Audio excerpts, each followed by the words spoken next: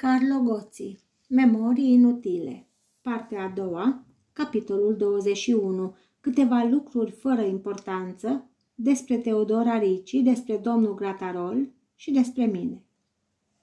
Sătul să mucegăiesc în acea închisoare, care era plicticoasa și îndelungata mea convalescență, am hotărât să ies din casă în ciuda medicului și a vremii reci și ploioase.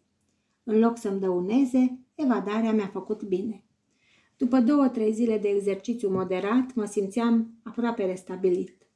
Ca să mă relaxez, într-o seară, când trupa lui Saki avea spectacol, m-am dus la teatru, iar actorii și-au manifestat la unison bucuria de a mă revedea.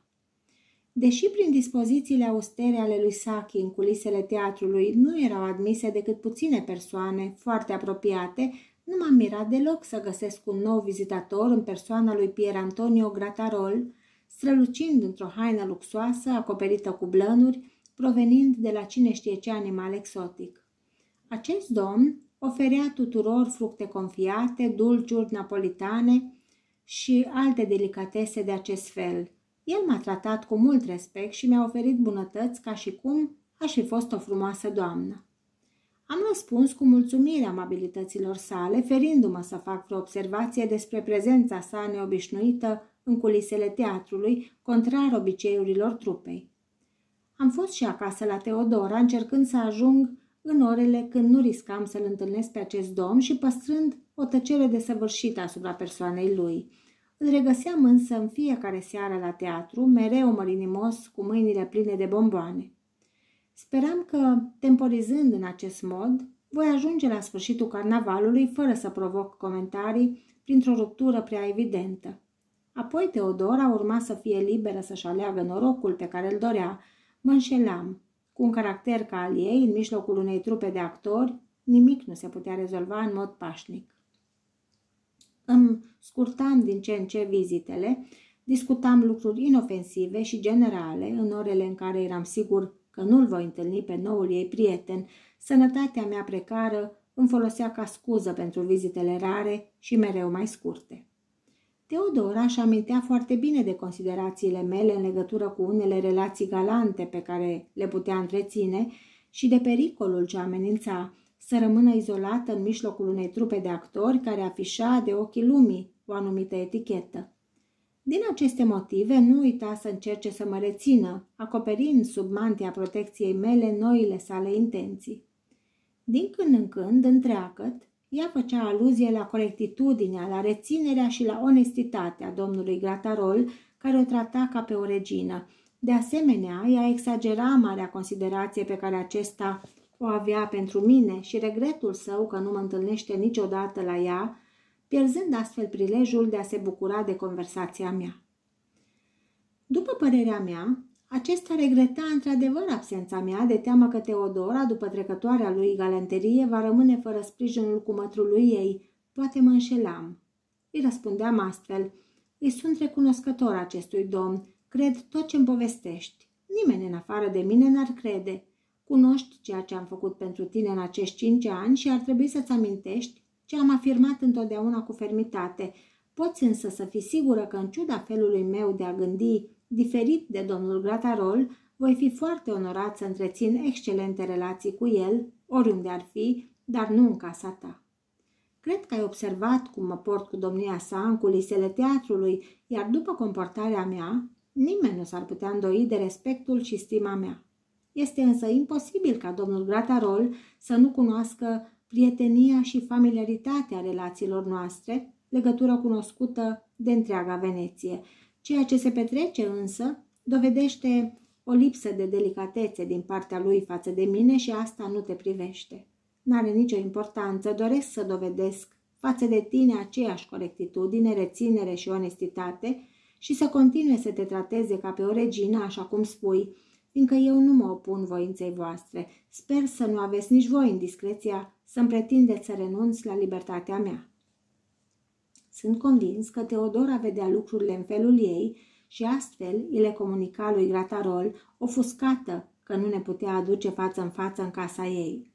Ea privea toate acestea sub prisma ambiției și a amorului propriu și atitudinea mea îi părea dictată de o gelozie ridicolă.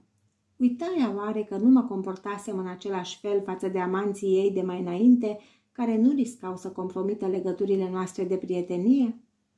Carnavalul acesta a fost pentru mine cel mai lung din viața mea. Așteptam cu nespusă nerăbdare sfârșitul lui ca să mă eliberez de griji.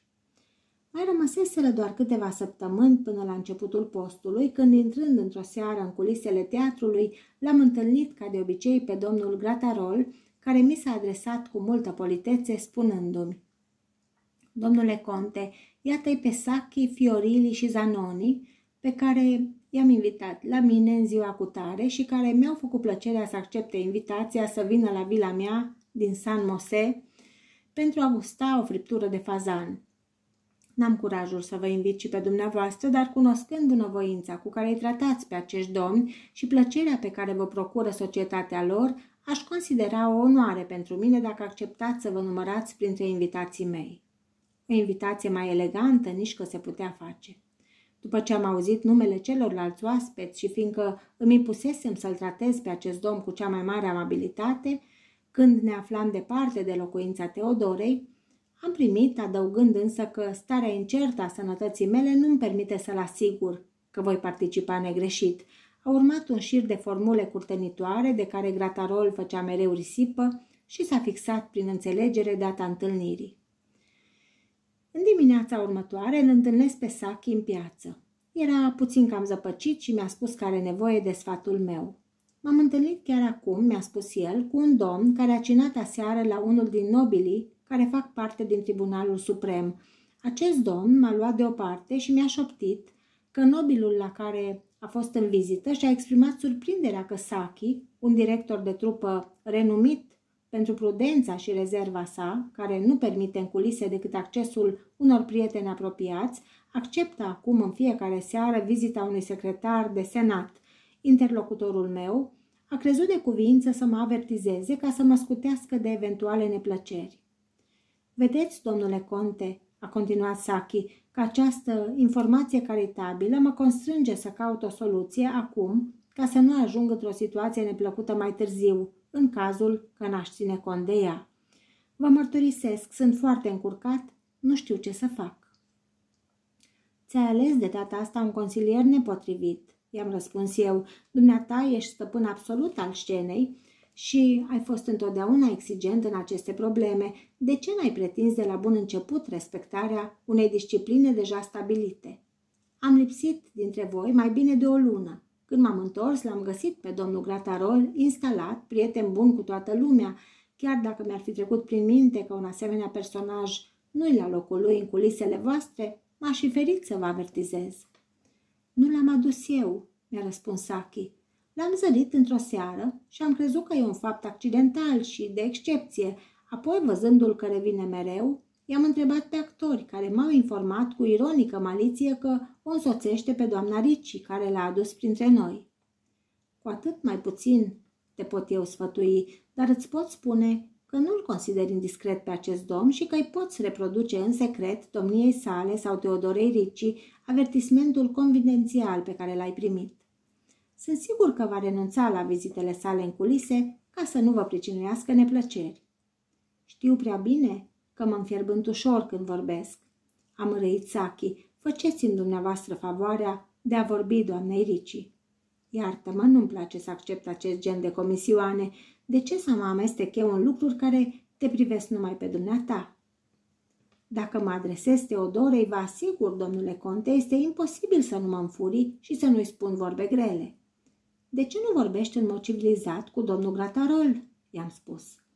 Vă mărturisesc că nu îndrăsnesc. Acest domn se poartă extrem de politicos cu mine. Mă tem să nu mă bănuiască că am inventat toată istoria ca să le zgonesc din culise și să devină în consecință dușmanul nostru. Supărată și ea, Teodora va turna gaz peste foc. Dumneavoastră știți prea bine că în meseria noastră trebuie să fim în relații bune cu toți. Splendid. Vrei deci să scoți castanele din foc cu mâna mea. Foarte bine. Dacă voi găsi un moment potrivit, te voi servi cu toată circumspecția de care sunt în stare, încercând să evit o situație neplăcută.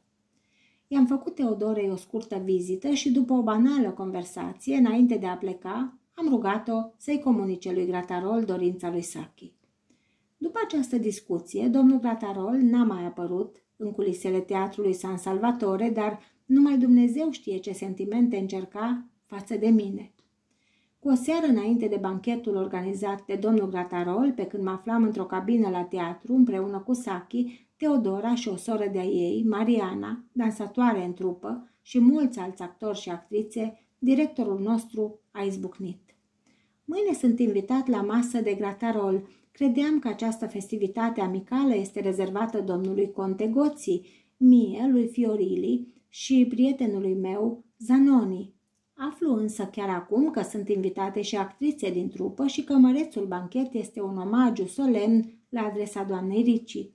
Eu sunt director și n-am ajuns niciodată plasatorul și codoșul femeilor din trupa mea, la dracu. Dumnezeii, etc., etc., să se ducă la banchet cine o vrea, n-are decât eu n-am ce să caut acolo. Teodora, roșie caracul, nu știa ce să mai facă și ținea ochii plecați. O priveam cu toții. Mărturisesc că, văzând-o pusă în mod public la stâlpul infamiei, îmi trezea compătimirea. Iată-ne în plin bordel, îmi spuneam în sinea mea. Tot ce am făcut de cinci ani încoace e sămânța aruncată în vânt din cauza unei prostuțe orgolioase care face tot ce poate ca să înghita fronturi și pentru că Saki, purtat de verva sa murdară și de înjurăturile sale, continua să afirme că nici nu se gândește să participe la banchet, m-am străduit să-i potolesc furia și să-l conving. Dumneata nu dorești decât un singur lucru, să nu-ți faci dușmani, i-am spus. Nu te gândești să te exprimi cât se poate de jignitor la adresa unui domn care te tratează cu cea mai distinsă curtoazie, îți pleci prea mult urechea la bârfe și mizerii. Invitația asta este cât se poate de nevinovată, nu văd de ce trebuie să te înfurii în asemenea măsură.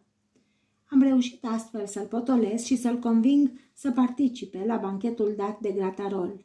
În ceea ce mă privește, cum starea sănătății mele nu era deloc bună și cum nu îmi făcea nicio plăcere să iau parte la festinuri solemne și prelungite, oferite de personalități pe care nu le cunoșteam bine, i-am transmis domnului Gratarol un bilet curtenitor prin care îi exprimam gratitudinea și scuzele mele. Suferind o nouă criză în noaptea trecută, nu mă simțeam în stare să mă bucur de invitația sa și să asist la o întâlnire veselă pe care aș fi întristat-o prin prezența mea. Valetul mi-a adus din partea domnului Gratarol un răspuns încărcat de regrete și de ceremonioase manifestări de simpatie. Comportarea mea nu avea nimic ofensator pentru domnia sa, dar el era instigat să mă bănuiască și cum nu putea să nu recunoască că apropierea de Teodora Ricci nu era o atitudine cinstită față de mine și care mi-ar fi putut conveni, văzând că este imposibil să ne întâlnim vreodată în casa ei, cred că simțea față de mine o antipatie crescândă.